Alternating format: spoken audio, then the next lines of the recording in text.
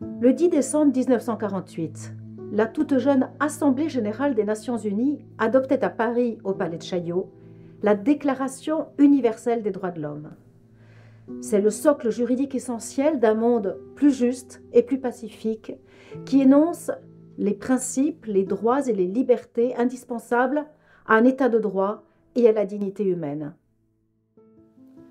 Tous les êtres humains naissent libres et égaux en dignité et en droit.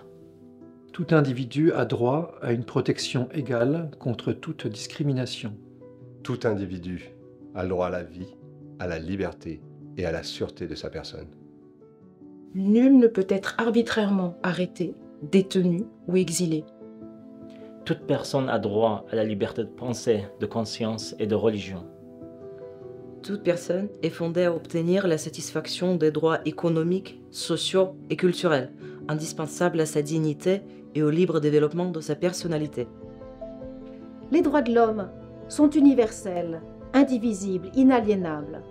La Déclaration universelle des droits de l'homme des Nations Unies doit demeurer, comme l'ont voulu ses rédacteurs, l'idéal commun à atteindre par tous les peuples et toutes les nations.